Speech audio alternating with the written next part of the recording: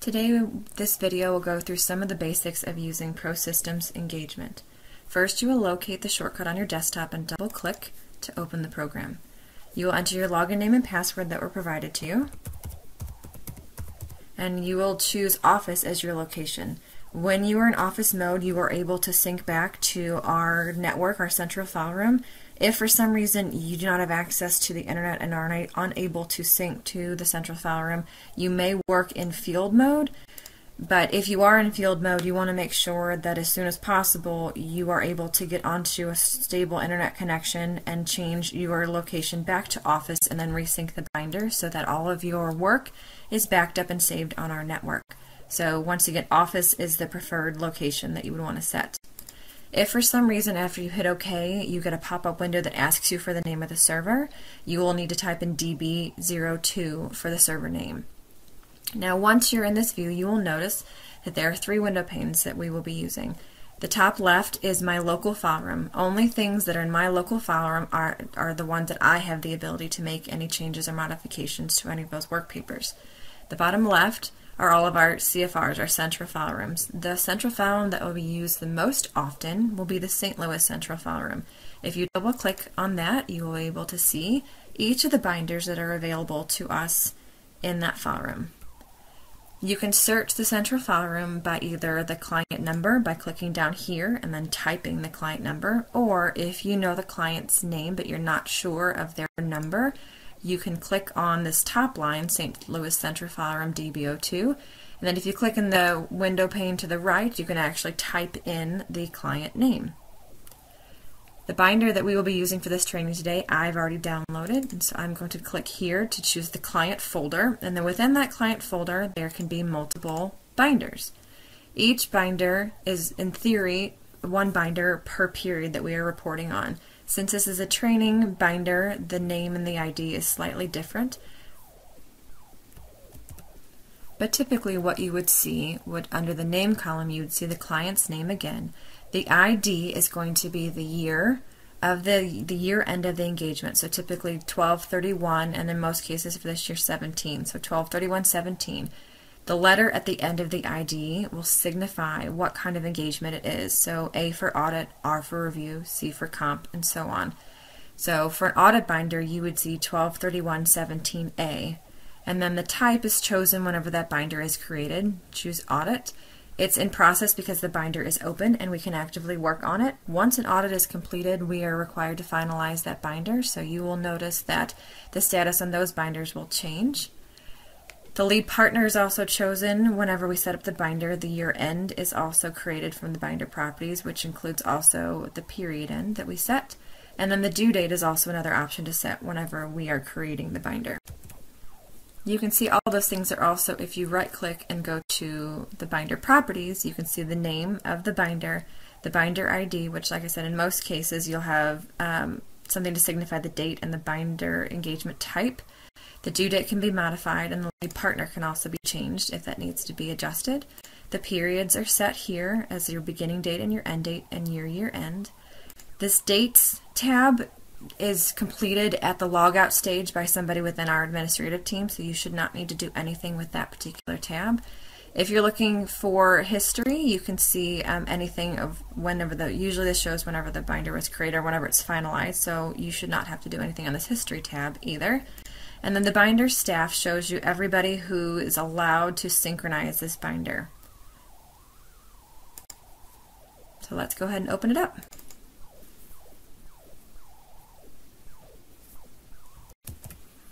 So our binder has opened successfully, but one thing I want to go back and show you on the central file room is the synchronization job queue. You want to look to make sure that the status after you sync is always completed.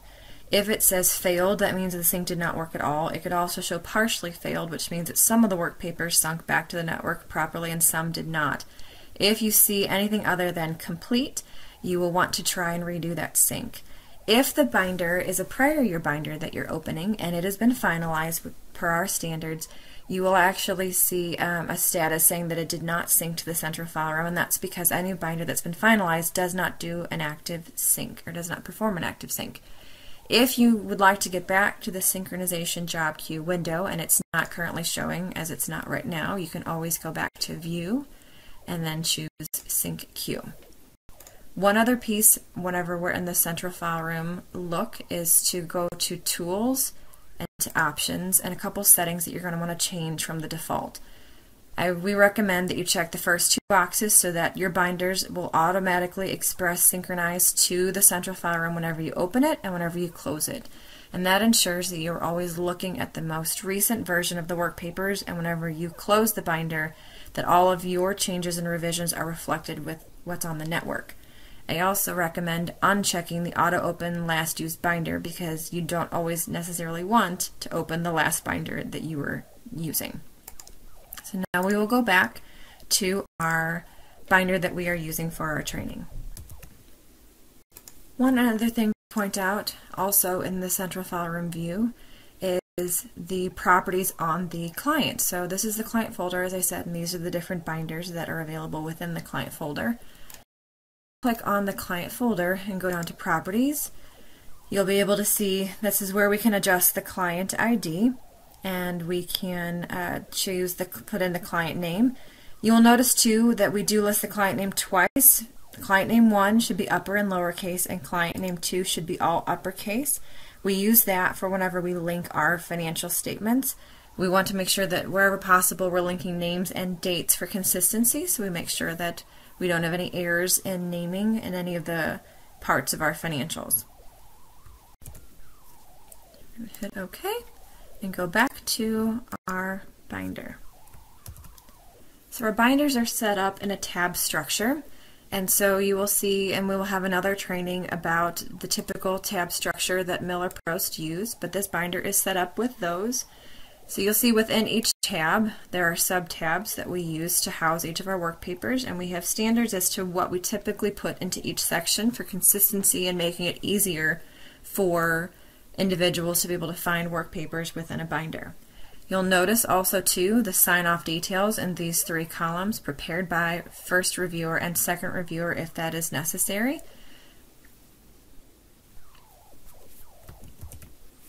These two buttons up here are helpful. This is expand all and collapse all. If you expand all, you'll be able to see all the work papers that are currently available in the binder. This training handout is the one piece that you will not see in a typical binder, but we put these pieces in here. I recommend reading all of them. They contain a lot of very helpful and useful information. But for now, we're going to go ahead and minimize those. In this view, you can see the prepared by that on this case, I prepared this work paper. And you'll see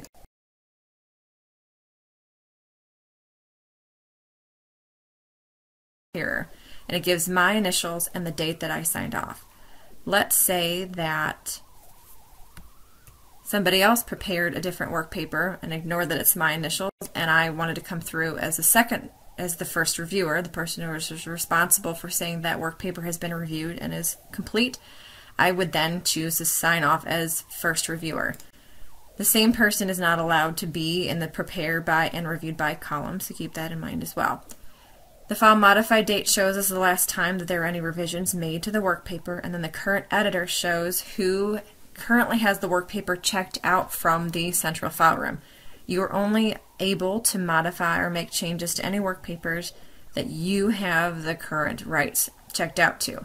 If you don't have the rights, it will show as unassigned and the work paper's title will be gray will be gray.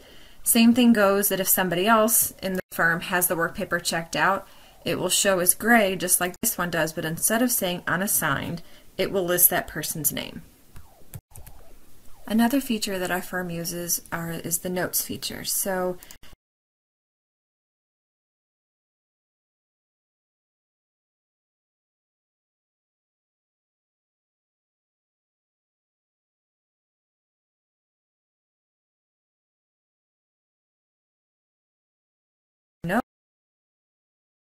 to, if you're the reviewer, you'll say review point, and then you will type whatever the point may be for that person.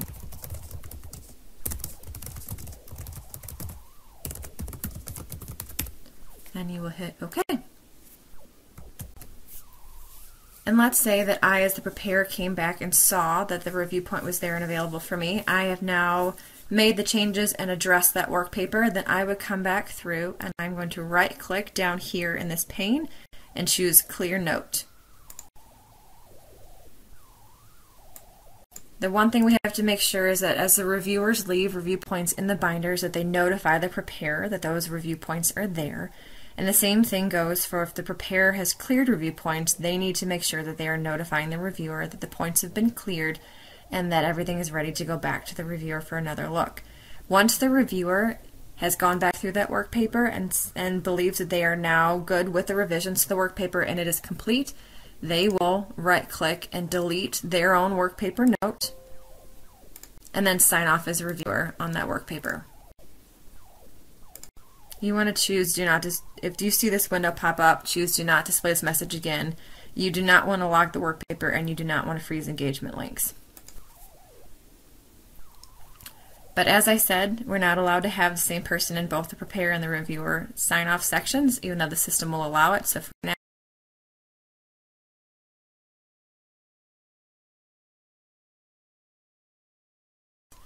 and I can actually hit the minus sign next to the window that corresponds with where I would like to remove my sign off.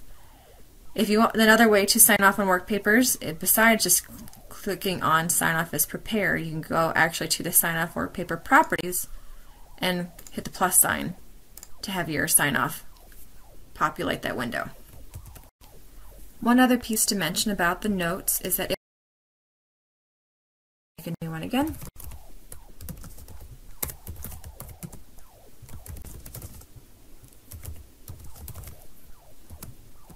and I hit OK, somebody else can also come back through and respond to the review point and say completed.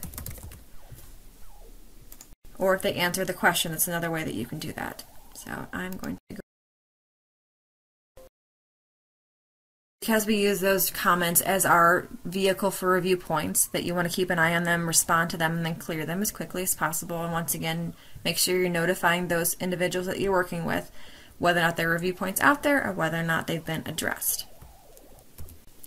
Next, we will go through how to insert a new work paper into your binder. So let's go down to the asset section of the binder.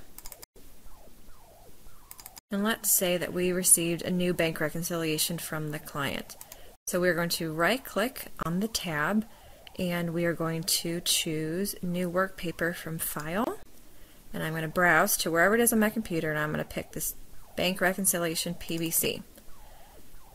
And in this case, I'm going to give it an index number. As you can see, all of our cash work papers start with an A, and I'm going to go with the next one in sequence, which would be A.03. Hit OK, and then it is now part of my work papers. Another way to insert a work paper, let's say that I just need to draft a new memo, or I just need a blank Word or Excel file. I'm going to right click and I'm going to choose New Work Paper from Template. And then that will allow me to choose one of those blank files. You can choose blank Word document, blank Excel document if you need a new PowerPoint presentation pulled into the binder, or a manual work paper. Manual work papers are those where you just need to make a permanent comment like no attorney letter or no whatever um, and they're usually the manual work papers, however, do not get used that often. But in this case, I'm going to choose a blank Word document, and I'm going to choose the next point in the sequence because I'm putting it into my cash section, and I'm going to say listing of banks or clients. Because let's say that we wanted to have one list that included the list of all the banks that this client has, and I wanted to add this listing in there. This is one way to do it, and then I would just open up the work paper and type accordingly.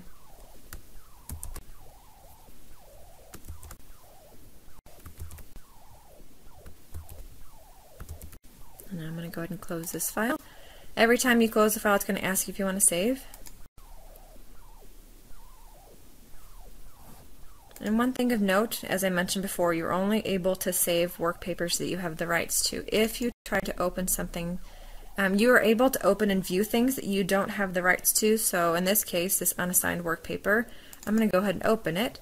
and I'm going to get an error message to tell me that, or at least a warning to let me know that it is read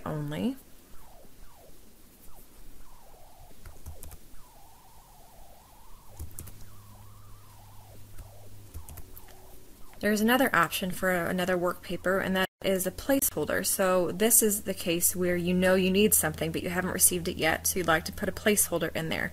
So for example, the 1600 section is where we house our engagement letters. So I'm going to put a placeholder in there for the engagement letter.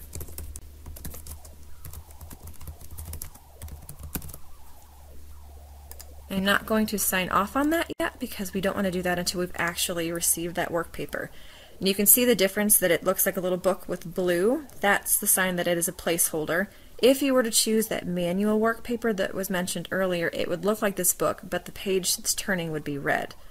So let's say now you've received that signed engagement letter and I want to be able to replace this, to change it out for this placeholder.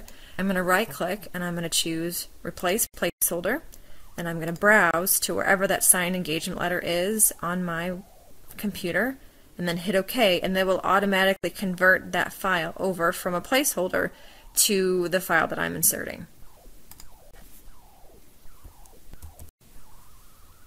You also have the ability to insert work papers directly from Outlook. You can, if you double click and open up the particular email, you can click on the file within that email. You can drag and drop the file onto a tab within the engagement binder and it will pull up the window and ask you to give it an index number and a name. There's also at the top ribbon of the Outlook there's an add-ins ribbon, and in that add-ins ribbon there's an engagement drop-down, and one of those engagement drop-down options is to insert file or to insert the email into the engagement binder, and if that's the case that you choose, you will then be prompted to another window where you will choose the client and the binder in which you want to insert that work paper. Unfortunately, the computer that this training is being recorded on does not have Microsoft Outlook loaded on it, so I'm unable to show that particular piece of the training. But whenever you um, have that option, please see your coach, and he or she should be able to easily show you how to do that, how to use that feature with, within the integration between Microsoft Outlook and engagement. As mentioned previously, synchronization is the way that we put our files, or at least an image of the files, back on our network or on our central file room. So as you are able to finish a section, um, it's always a good thing to make sure that you check work papers back in so that they can be reviewed and other people can see the progress that you've done. You can check in a work paper one at a time by right-clicking and choosing Check in Work Paper. You can also check an entire section in by right-clicking on the tab and choosing check in work paper. In this case, it will choose all three work papers that I have the rights to. It will give me the option to check them all in at one time. And you'll see here in just a second that the current editor has now changed from my name to unassigned. The other thing that you can do is if a coworker of yours is working on this work paper and you don't need the rights, but you just want to be able to see what they've done, you can also just right click on the work paper and choose synchronize work paper and then it will synchronize it to the central file room so you can see that you have the most recent version up to date. That also is contingent upon the fact that whoever was working on that file that they've sunk before you so that their changes get saved to the central file room and then whenever you do your synchronization you are able to pick up those changes and be able to view them. And while we are on the topic of synchronization, let's go back to our central file room view and look at the different synchronization options that we have. When we click on our client name and then the binders that are available under that client name, these buttons up here are some of our shortcuts for synchronization. This one right here is to synchronize the entire binder and it won't let me do that right now because I have the binder open, but we can synchronize this other business services training binder. So I will click on the synchronize binder window. I will hit next. It chooses the training center file room because that's what it's on. You want to synchronize the entire binder. If for some reason you only wanted to synchronize a certain section, you could check this radio dial and then you will choose which work papers you want to sync. But typically you will choose synchronize entire binder and hit next. If you want to check out any of the work papers at this time, you can actually check them all out by clicking up top. Or if you say I just want particular sections, you can choose those as well. And then you'd hit the next button. If you had any work papers checked out, there would be another window that would come up giving you the option to check in any work papers. So just very careful, you need to be very careful to look to see whether you are choosing the option to check in or check out. And then you'll hit the synchronization button. One other option you have is to check this box here, and that will make it open the binder as soon as the synchronization is complete. The other option you have is what's called an express synchronization. So if you click on that button, it automatically just starts to sync the binder without changing the rights to any of the work papers. So nothing gets checked in and nothing gets checked out. If you don't want to use the buttons up top, you can also right click and get to those exact same options of synchronized binder, express, express synchronization. So the other thing to notice too is that this business services training binder is just an open book, which means it can be modified. It's not a finalized binder. This video copy, because it has that blue arrow, that blue arrow signifies that I have work papers checked out in that binder. And if I wanted to check in every work paper that I had, you can go up here to this option and click on check in all work papers. Or if I wanted to check out every work paper in that binder, I could choose this option of check out all work papers.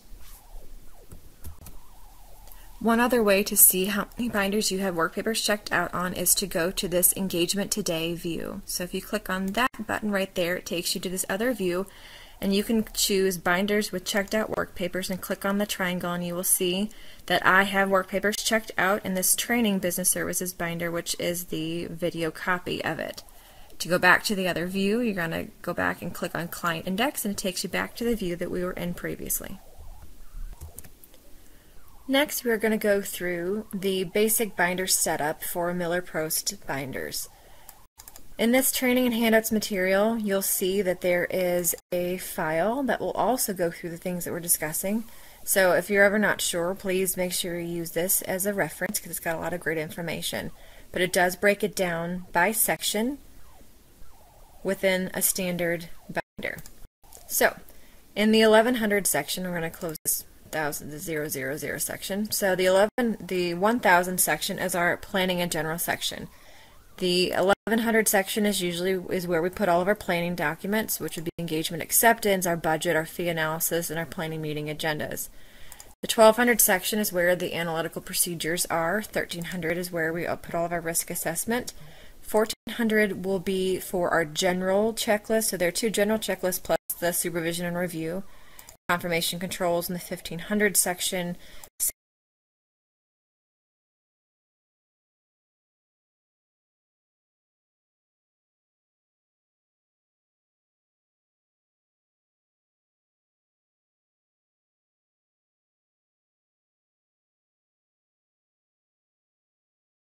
Seventeen hundred section are our carry forward work papers for correspondence to the client. So the Word file for the engagement letter and the representation letter. If we have carry forward suggestions for the previous year, things that might make the audit more efficient, um, we'll put them into this work paper here. Also a 114 letter that needs to be issued at the end of each engagement. We keep the template also in the 1700 section. And the same thing for, like I said, the rep letter. If there's a comment letter, we usually put that into another section. And then the 1900 section is where we will house all of our internal control um, understanding and test work.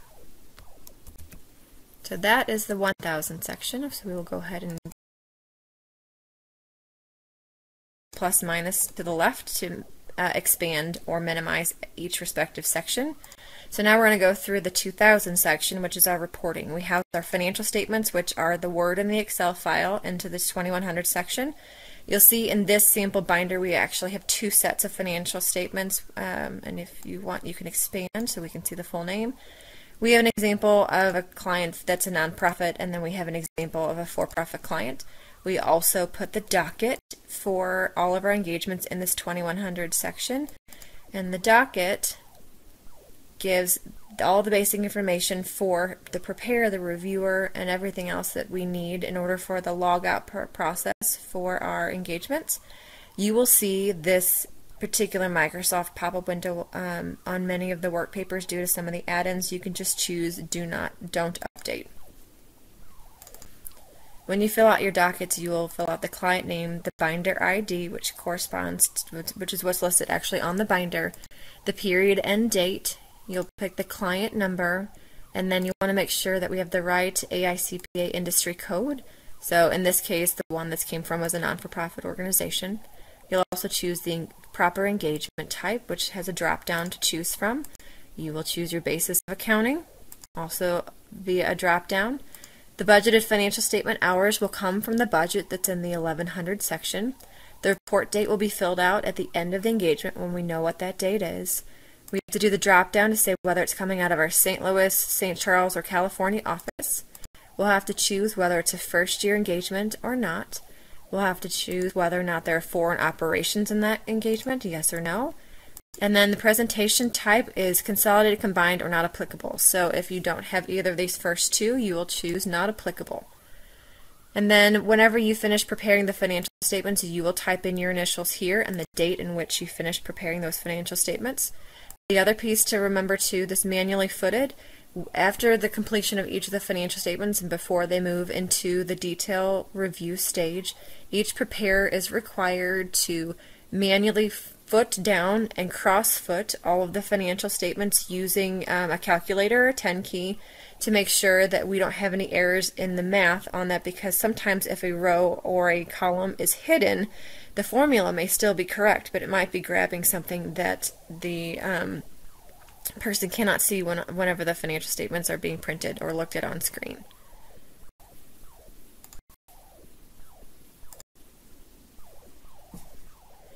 The other pieces in the 2000 section, financial we usually have one work paper that is a summary of all of our disclosures to kind of make a little um, one-stop place for where to find what's supporting the different pieces of the of the notes. The disclosure checklist will go into the 2300 section. All the research that we use for the engagement, which would be research for the engagement letter, research for the representation letter, research for the auditor's report and any other piece that's deemed necessary goes into this 2400 section. The 2500 section is if we are issuing a management comment letter to the client, we will include the letter template here as well as the work papers that we used to summarize and accumulate those points. And then the last piece here is the 2900 section. That's our deliverables. So whenever we issue the financial statements, we will put a final PDF copy of the financial statements and all letters, um, whether they be the 114 letter or a comment letter or a transmittal letter to the client, PDF copies all go into this 2900 section. The 3000 section is our trial balance section, so the TB database, which is what we will import into, is right here. The TB database is where all numbers get pulled from for the rest of the binder. The TB report is a summarized version of what's in the TB database. So it will be grouped um, by the way that we have kind of set whenever we get to our account groupings, which we will address later. The 3200 section includes all of our journal entry reports, so any adjusting journal entries we propose will show up on this report, past adjustments proposed this one, and classifying adjustments proposed on this one. The standard rule of thumb is, is that if it's an adjustment that we want the client to make, we're going to record it as an adjusting journal entry. If it's something that we are recording just for financial statement purposes only and we do not believe the client needs to book that entry, we're going to put that into the reclassifying journal entries report. And then if it's something that we've noted as an error but it's not material to the financials as a whole and we are passing on making that adjustment, we will book a past adjustment and that will flow to the past adjustments report. If a client has compliance requirements, so if they are receiving money from the federal government or there are a HUD project or have some other compliance that we have to test, you will actually see a 4000 tab. This sample binder does not have that because this particular one does not have any compliance requirements that we have to test, so there is no 4000 section. But if you see a 4000 section in a binder, that is what it's for. All of our assets are housed in the 5000 section and each of the respective types of assets are corresponded a letter. So typically cash start with an A. If you've got accounts receivable, it's going to start with a C. If you've got intercompany receivables, that's going to be a D. If you've got inventory, that's going to be an F. If you've got prepaid assets, that will be G. If you've got job cost reports, that will be J. If you have fixed assets or property and equipment, that will be M. If other assets will fall into L, and that is typically all you will see, and then other assets will fall into the X section. If you have a type of an asset and there isn't already a sub tab for that. So let's say this client right now last year didn't have prepaid, so there's no G. To add one because they truly have prepaids, I'm going to right click on the asset tab. I'm going to choose new tab and I'm going to put the letter G as the index name. Next, we're going to go through the liabilities and equity section. So typically in this section, if there were a line of credit, that would be a BB. Accounts payable, we use that tab as CC. If there's accrued payroll, it will be FF. If it is all other expenses, it will be HH. If it's long-term debt, it will be MM. If you've got capital leases, NN. If you've got preferred, sorry, not preferred, deferred income, it's PP. And then other um, for, for, for for profit and net assets for nonprofit go into the ZZ section. Income, uh, revenue, and expense items are in the 0100 for revenue and 0 typically in these analytical work papers. Um, that go through review of possibly repairs and maintenance or review of legal fees, um, reasonableness tests on interests and revenues in these two respective sections typically. And so if we are preparing the tax return for the client, which typically we prepare the returns for the clients that we perform financial statement engagements on, then those work papers will go into the 8000 section.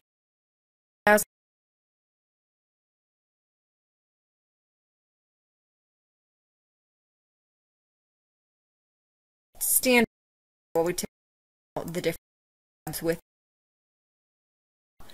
this binder also has a setup for subsidiary um, entities. So if you have a consolidated binder and so you've got your subsidiaries to report, you'll mark them as S1, the, the name S,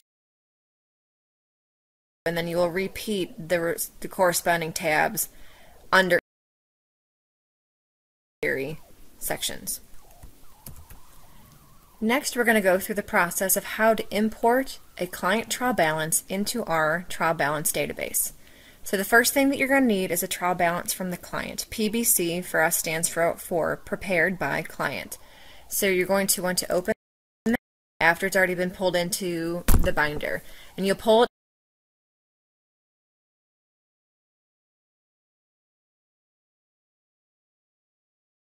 saved on your computer work paper from file, or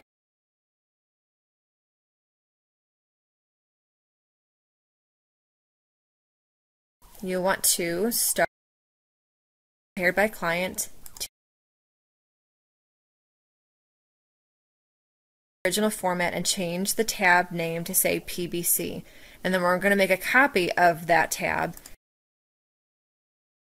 And the reason we have to do that is that we have to have the trial balance formatted in a certain way in order to be able to import it into our engagement system. And that is in one column by itself. The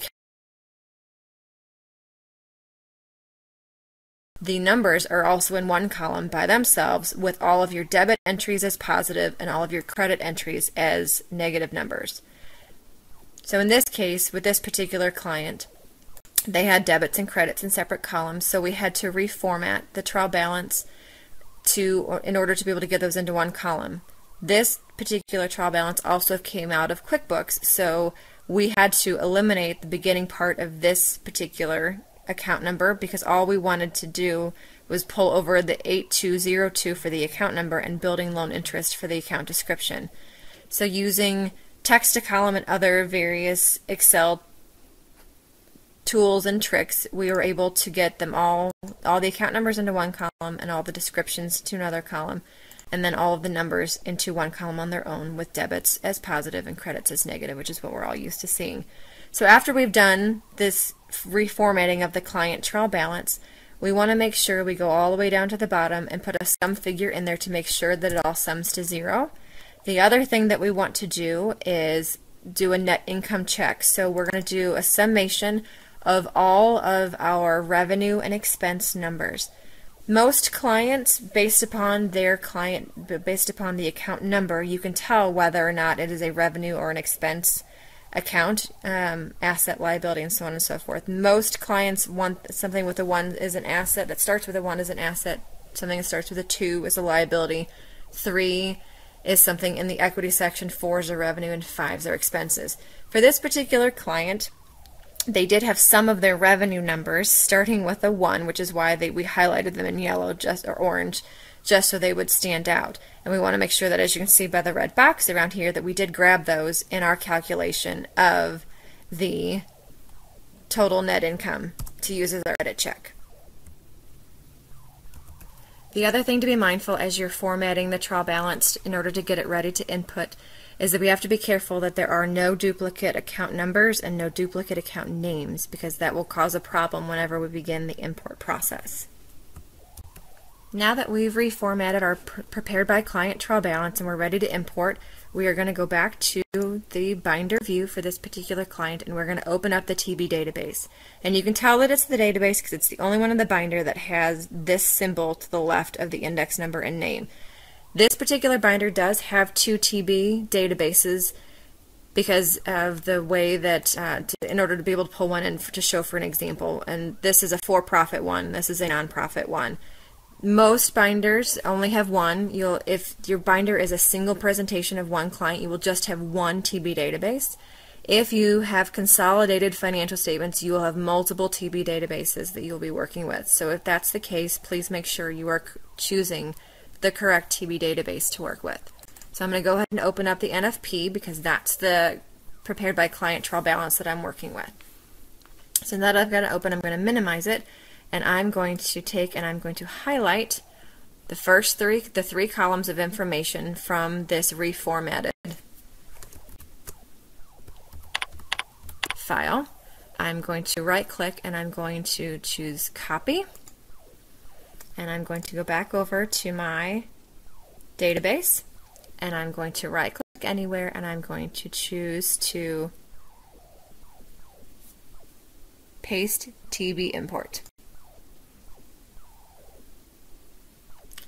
So now that this window has come up, we have to identify um, what the columns are. So we're going to make sure this that one defaulted to account, so that's correct. That one defaulted to description, so that is also correct. And then the V means we haven't that it hasn't either figured out um, and we haven't chosen what the particular column is called. So in this case, I have to choose what it's called, and this is I'm going to choose current, and I'm going to choose unadjusted balance. Every time we import a client trial balance, we always call it the unadjusted balance because in that way, if we book any journal entries to it, um, we know where we started with with their numbers. Now, whenever you are going through this paste TB import, we always want to round to the nearest dollar. We always want to have the radio dial chosen for append. And we do have to select a rounding account. And um, we usually, if there's one in there, there may not be, we can create a new rounding account, round to new account, and usually we just choose all nines and choose and just type the word rounding. Same. So now we have we have chosen we picked that account number is the correct title for this column, description is the correct title for this column, and unadjusted balance is the correct title for this column. We made sure that append is the radio dial that's been chosen. We are rounding to the nearest dollar and we have selected our rounding account. We will now choose next. Hit OK and then hit OK again and sit and be patient for a second and then choose finish. And now you will see that the client's numbers have now imported into the unadjusted column for the financial statements. And we are now going to scroll to the very bottom of this, and that is as an edit check, you want to make sure that the total always comes down to zero down here. That tells us that we imported correctly and that we didn't have any other errors. Um, and that the TB that we were importing was also in balance, which is one of the reasons why, too, we do the sum at the bottom of the TB import file to make sure that everything sums to zero. The other thing that we will check is whether or not this total net income or loss agrees to the total net income or loss that we were expecting from our client prepared trial balance. So $101,398 is what the TB database is currently showing as our net income or loss. But if I go back over to my prepared by client, I see 131,239. So that tells me that something in my trial balance is not properly grouped.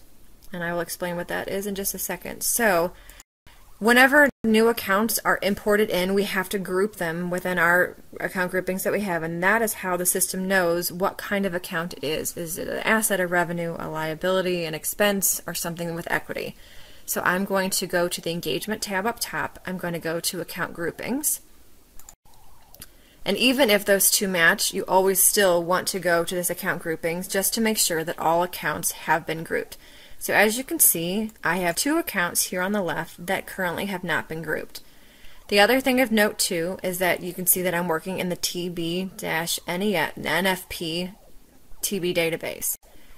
You can see too, because we have other databases available in this binder, I could look at any of the other one. I could look at the other TB, which was fully grouped, but in this case, I'm working on the TB-NFP. There also are different um, groupings that we can do. So lead and sublead, that is the grouping that is related to the financial statements that we use to link our financial statements as we go through our process. There's also the groupings for the tax return. And so those are tie back to the tax return themselves. So what we're going to focus on today is the lead and sublead groupings. So we have two accounts that have not been grouped. This option here is a nice feature because you can find out how much is in the dollar amount. I'm not sure why it's cutting off the last number there, but you can see that the donations were zero, so that's not causing our problem, but my health insurance, that's what's causing my problem. But we want to go ahead and group both of them because just in case that donations account is used by the client again in the future. So there are, multi, there are a couple different ways that we can move them from this left window pane over to the right, which are our groupings. So you have the same buttons we're used to seeing before, either expand groupings list or collapse groupings list. So I'm going to actually click on this twice to fully collapse everything so that I can see all of the groups and subgroups that are available to me. And if there's an arrow, that means that there's a subgroup underneath it or, or something that's coded underneath it. So this B to B.02 is investments, and then we have different subgroups underneath that. And that is because we want to make sure that we're linking our financial statements wherever possible to these subgroups so that we have the detail in there. So depending on the level of detail the client wants to see in the financial statements, will dictate whether or not we have more or fewer of these particular subgroups under the main grouping headings. So accounts receivable has subgroups for the full grossed up accounts receivable, the allowance for doubtful accounts, because that way we can link them both separately in the different parts of the face of the financial statements and in the notes. But in this case, I'm looking for I have donations that need to be grouped. So I'm going to go down to the revenue section and I'm going to find donations go in the contribution section. So there are two ways that I can group that. I can click on the donation and then click on the group that I wanted to go into and hit the arrow to the right and it is now gone into this listing. The other option that I have is a cut and paste. So my next one to group is health insurance. So that is an employee benefit. So I'm going to come down here and try to find where those employee benefits are. And that's the grouping that I want them to go into. I'm going to click on health insurance and I'm going to click on the group I want to go to and I'm going to move the arrow to the right. Now let's say for some reason that this long-term just this life insurance, I don't like the section that it's in, it doesn't belong there. I can't either click on it and hit the left arrow to ungroup the account, which takes it over there. But I want to move it back because that's really truly where it belongs. Or rather than pushing it over here and then moving it right back to the right, I can actually right click on it and cut that account and then move to the tab that it belongs to and right click and paste. So now you can see that the salaries number now includes this life insurance. It belong there, so I'm going to cut it again and I'm going to move it back to the employee benefits. And then I'm going to hit close and it's going to refresh. And now when I go to the bottom, because I'm fully grouped, 131 239 is now what my TB database is showing for my net income. And if I go back over to my prepared by client trial balance, I now match. Now, one of the things that can be a little daunting sometimes to individuals is the account groupings. So, what we usually say is if you're not sure, you can always ask somebody where an account goes, but you can also also just print out the listing of the new accounts or do a screenshot of the new accounts, group them where you think that they go, and then give your reviewer that screenshot or that listing of the new account, and then they can double check where you put those new accounts. And let's say that you get a trial balance from a client and it's not in an Excel format, so it's not something that we're going to be able to import, and we're going to have to manually key the financial key those numbers into the database, which is not preferable. If at all possible, we're going to try and convert any file we get over to an Excel file to be able to import.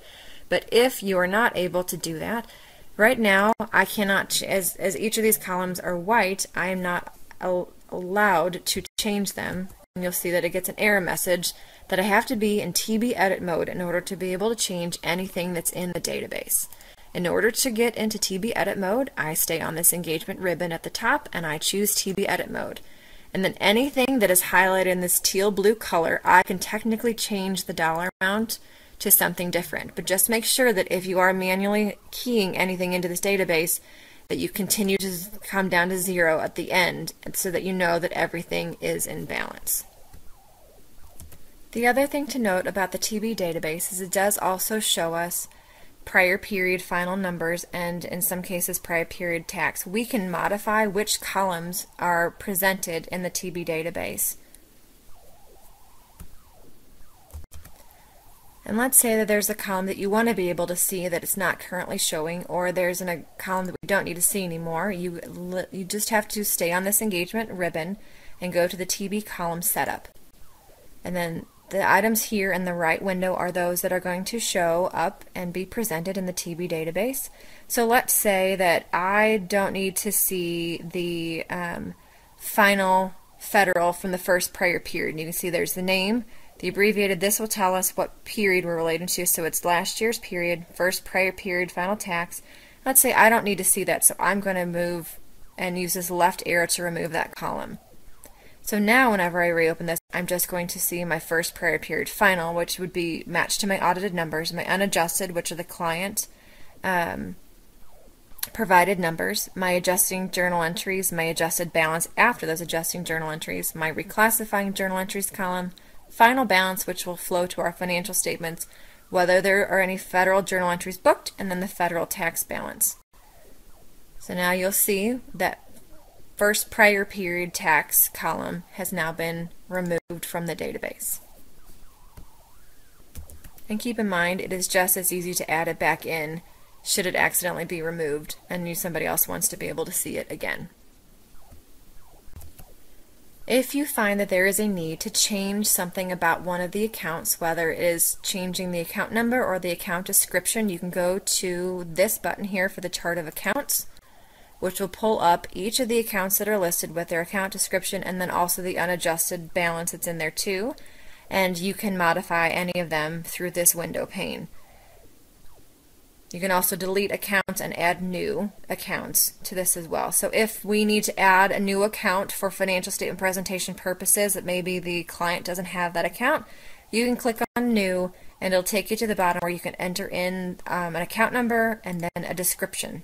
And then just remember that if you do add a new account, you'll have to go back to the account groupings tab because any new accounts will show up as ungrouped accounts and will need to be grouped in with our groupings. One other piece to note, sorry, about the account groupings is that you will notice that the, the letters for each respective section, those correspond with the, the, the letters for each of our tabs to make it a little bit easier. So as we mentioned before, the C section of the binder is accounts receivable. The C section of our groupings is also accounts receivable. So now that we've successfully imported our trial balance and grouped all ungrouped accounts, we're going to go ahead and minimize the TB database and we're going to go back to our binder and we're going to open up the TB report. And this is where we'll be able to see where all those groupings come in to help us.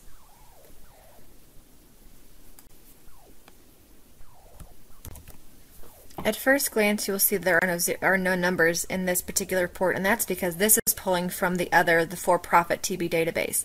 So we actually need to create a TB report for that TB NFP, which is the one that we imported into. So go to your engagement. You can do this inside of any any Excel file within the engagement binder. Go to the engagement ribbon, choose TB setup, and we're going to go down to create and choose trial balance reports. And then we are going to include change the radio dial to include current and future. We want a classified report, and what that means is it'll subtotal for us between current assets, current liabilities. It'll balance between the assets, the rev assets, liabilities, and equity as well too. On the report type, we want to choose detail because we want to have uh, that detail in there. And then on the trial balance, we want to choose the TB NFP to create. So that way it comes from the one that we just imported to. And actually I'm going to have to redo these two pieces and choose detail. And then it's going to default to go into the unfiled work paper section. So I'm going to go ahead and change that to make life a little bit easier and choose trial balance report. And I'm going to go ahead and give it a work paper index number of 3100.011. And we chose lead and sublead because that's the grouping that we want to have the report go off of. And that should be everything that we will need. So I'm going to hit OK. And it says the report was created successfully. And I'm going to go ahead and close this TB report, which since it's not the one that I want. And now I'm going to go back to my binder view. And you can see that we now have a new report here, which is the TB NFP combined report. I'm going to open that one up. And you can see, actually, we made a little bit of an error. I made a little bit of an error in creating that report because it only shows me my final federal tax balance, and that's not what I want to see. So I'm going to go back up to engagement, go back to TB setup, and I'm going to go back to create reports and back to create trial balance report. I'm going to choose my TB NFP, and I'm going to choose lead and sublead, classified report, select all, and detail. And what I failed to do on the first time, so learn from my mistakes, is that right now the report only generates with the federal tax balance in there. Well, that's actually not the balance that I want to, not the columns that I want on that TB report. So I'm going to go ahead and bump that over. We want the unadjusted, which is the client. We want to list all of our AJEs, or adjusting journal entries. We want the adjusted balance. I'm going to move that over. We want our reclassifying entries to show here as well, and then we want the final balance to show on this particular report. And then we also want some comparative information, so I'm going to choose first prior period final, and I'm going to move that over. But I want that first prior period final to be the furthest column to the left, the first one I see. So now, since it's on the bottom, that would put it to the farthest to the right. So I'm going to click on that, and I'm going to use the up arrow to move it to the top. And hit OK. And the report was created successfully. And this time, it actually is down in the unfiled section because I didn't give it its new index name. So I'm going to move it to the top by hitting cut, coming up here, and choosing paste. And because I need to give it an index number, because all of our work papers need to have a description and an index number, I'm going to click on that work paper and I'm going to right click and go to properties and I'm going to give it the index number what and hit OK. And then I'm going to take this first one that I made that wasn't correct and I'm going to right click and I'm going to delete it. Oh, actually, I have to close it first. So I can either go over here and close it by getting to this work paper or the other option you have is to right click on it within the binder and if it was still open there would be a close the close work paper option is another way that you can get that to close down. So this time I'm going to go ahead and close that one work paper and we're going to go and open up our new TB report which will show our imported numbers and grouped in a way that matches to our financial statements. And so as another learning experience, there's one other piece. If you see how in this report there are a lot of accounts with zero balances, well, we don't want to have all those show because it just takes up space for information that's not helpful to us. So we're going to try this one last time. Go back to TB Setup. We're going to go to Create, Create Trial Balance Report, and we're going to choose, it's from the TB NFP, and I'm going to go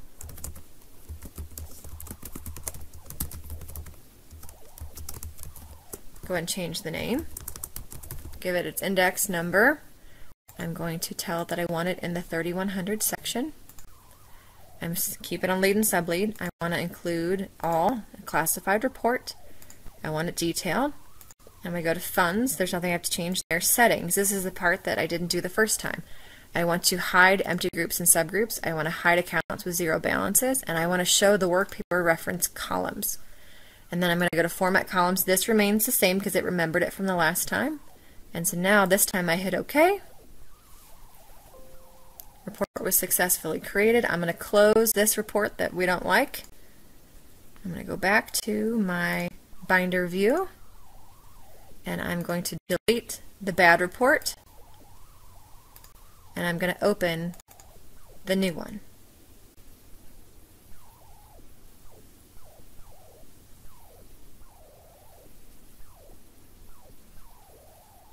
And this time you will see that there are no accounts that have zero balances for both years, and there are no subgroups with zero balances. And now, whenever we get, there will be another training video done on how to link the financial statements. But these subgroups are what we use to link to the on this particular client, whenever you link to their financial statements, you will see that their cash account is going to be listed as this $153,857. Now, as we're going through and working on the audit, if we discover the need for, an, for a journal entry, inside of any Excel file, you can go back to this engagement tab and you can go to the journal entry summary. And in that journal entry summary is how we will start the process for writing and drafting a new journal entry. If it's an AJE, like I said, if it's an AJE, which is an adjusting journal entry, that is an adjustment we want our client to make. If it's an R, if it's an adjustment that we want to make just for financial statement presentation purposes, it's an RJE, and we'll put it in this in this folder.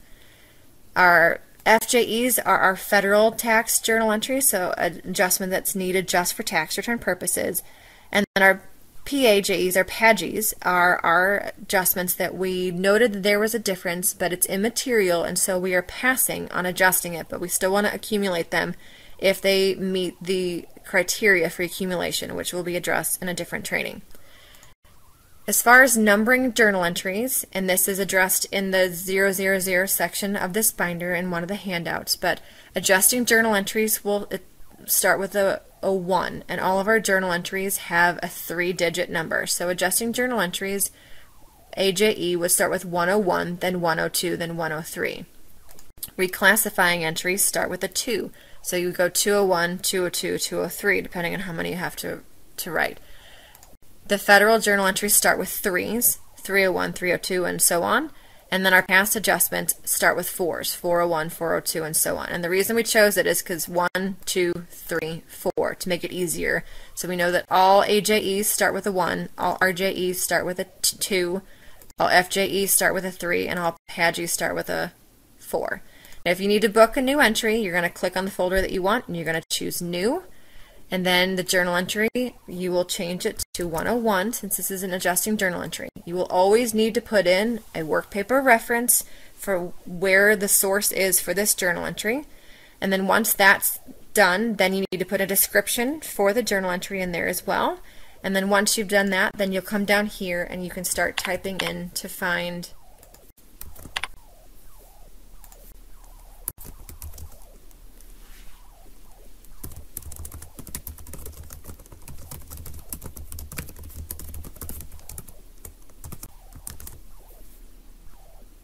the account that you want to book. And you'll see right now I can't click on anything because it's assuming that I'm on a different TB database. So I actually need to cancel. No, I don't want to save because I should have chosen the correct database. Now once again in most binders you're only going to have one TB database so you won't have to worry about this. But if you do have one that there are multiple, whether it be a consolidated binder, make sure you're choosing the right TB database. So I'm going to do this again. I chose the right TB database. I'm choosing AJE and I'm going to say journal entry 101 and I'm going to do, um, let's pretend that it was a work paper A01 that we noted this difference and we're going to adjust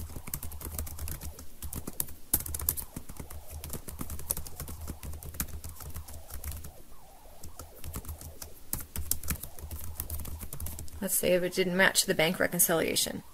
So I'm going to, this point now, choose the cash account that needs to be adjusted, and I would record my debits and my credits, and then I would choose the other side of the entry, and let's say that we're going to run it through, it was late charges that didn't get recorded, and so tab through. Now you can um, search, so by account number. So if I know that it's account 1002, you'll see that it starts to auto-populate. So you can search within the within the accounts to choose which one is the correct one to book your piece. But because this First State Bank account, I don't want that want that on there. I'm going to choose delete to get that line off. And then I would put in my debit and credit dollar amount, and then I would hit save and close. And then now you can see that I have a journal entry up there that's sitting and recording. If I decide later on that that journal entry is not required and I need to delete it, I'll click on it and I'll choose the delete button. It'll ask me if I'm sure and I will hit yes or no. So in this way we'll choose yes. And hit close. And I want to show you the journal entry report. So we're going to go back actually to that journal entry summary. I'm going to push it back to the TBNFP and I'm going to choose an AJE. I'm going to choose new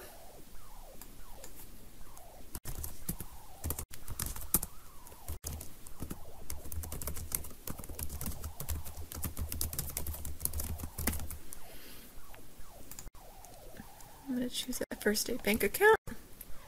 And I'm going to book the entry for a dollar, even though you would never really book an entry for a dollar unless you're trying to get net assets to roll properly.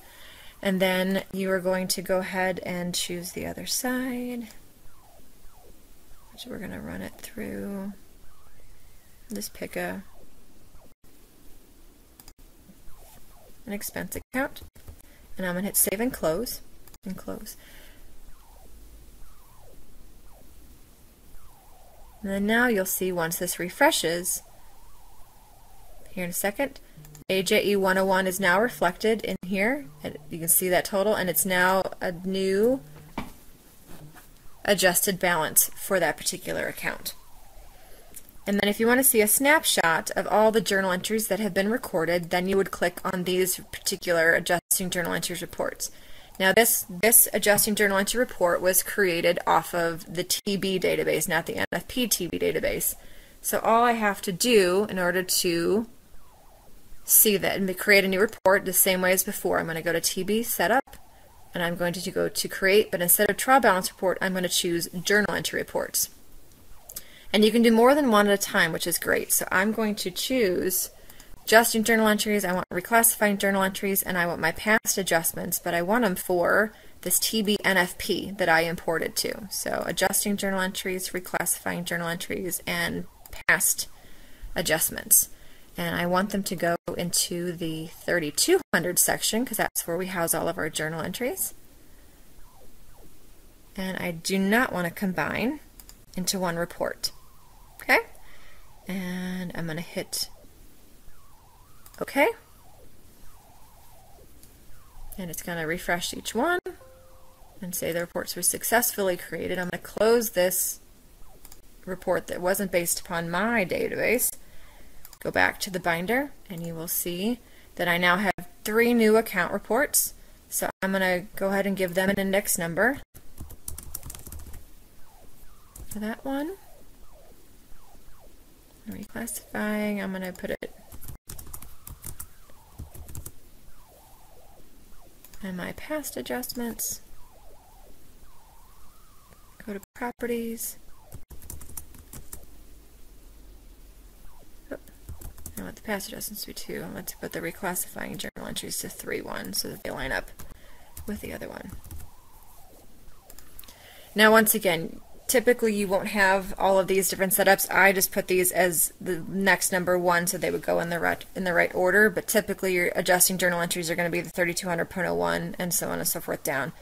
Um, so now, because this one, I'm going to go to the properties too, and I'm going to add on here so that we know that this is related to the NFP TB database. But if I open up that NFP TB database, it now populates and shows the one adjusting journal entry that we have recorded.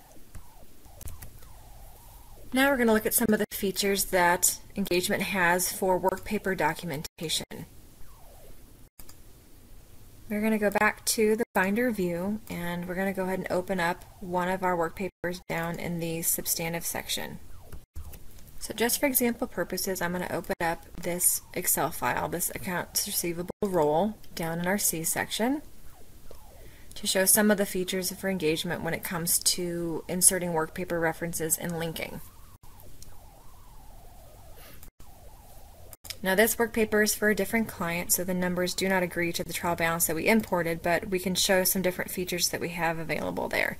So let's say that this number goes to another work paper. So we can insert work paper reference right here. And let's say that that number agrees over to something that is in our AR analytics, so C1.02. So I put in that work paper reference number there to know that this number I'm now going to see over on this work paper. This number I'm going to see over on this work paper. And then now that it's there, I can right click and choose Open Work Paper Reference, and it's going to open up that other work paper for us. Another feature of engagement is the ability to in, uh, insert a TB link. So let's say I choose right click and I start choose insert TB link. I'm going to make sure I have the right trial balance selected, so I'm going to choose my TB NFP. And let's then choose lead and sublead. I'm going to choose account groupings because then that's going to match the groupings that were in there. But if I also, you have other options too. You can just choose account type. So if you just want to have the total for the assets or liabilities or revenue or expenses, you would choose account type. Account class, same thing, current assets, current liabilities, breaks it down that way. Or if you need to drill down and link just one particular account number, you can do it with just the account detail, but we're going to stay with the account groupings. It'll automatically default to current. It will automatically default to unadjusted balance. So you want to drop that down to your final balance because in that way, any journal entries that were recorded during our process will be reflected in the number that's being linked in. And because this is an AR work paper, I'm going to go ahead and scroll down to my C section and pick AR. You can hit insert and it'll show that this particular AR grouping has a total of $2,167. It's a debit balance. But let's say I was inserting something that was a liability. It would come through as a negative number. So you can choose your sign options, whether it's actual, the reversal of the sign, or absolute value. And then you choose paste and then close. And then the 2167 shows up in your report in your work paper now. And as a general rule of thumb, whenever we are uh, linking a, inserting a TB link into one of our work papers, we usually like to shade the cell gray, which signifies to the reviewer that it is something that has been linked to the trial balance. So if you use that insert TB link option, just make sure you, you shade the cell gray. And then if something has been TB linked and you want to see what's making up that number, you can right click on it and choose drill down TB link and it will show you all of the accounts that are in that number. And usually you do have to shift the columns over a little bit to be able to see the dollar amounts that are in there. So I'm going to hit close. One other piece regarding our work papers, which will be addressed in a separate training, is our work paper referencing. So if something is going to a work paper, you're going to put it on the right of that number or on the bottom of that number. And if um, it is coming from another work paper, it would be on the left or on the top of that number. This is a point of reference. And then whenever a number ties out to the trial balance, you're either going to write TB next to it, or you're going to put the work paper number of the TB, the trial balance report. Not the trial balance database, but the actual trial balance report in the 3100 section that it specifically agrees to. And then one last thing of engagement when it comes to benefits for the work papers are the tick marks that are available inside there. So if you need a check mark to help document your testing um, of, of, a procedural test that you've done, then you can use the, check mark that's here. If you um, have two things that agree to each other, you usually you will use letters with those. So you could use an A and an A to show that two different numbers agree to each other. So if I had 2167 over here based upon data that the client provided and I want to show that it agrees to the same number down here, I would put an A to an A, an A up here, and then an A down here. And you want to try to get it as close to the left of that as possible. If you need to add up numbers, we sum with uh, numbers. So you would choose find the number 1 and put ones next to everything, and then you would choose the summation symbol, which is right here, and put that next to the number 1, and then put the summation right here. So, but once again, tick mark usage and firm standards for that will be addressed in a separate training, but just wanted to bring that up since it is um, a possibility, well, since we're in a actual current work paper.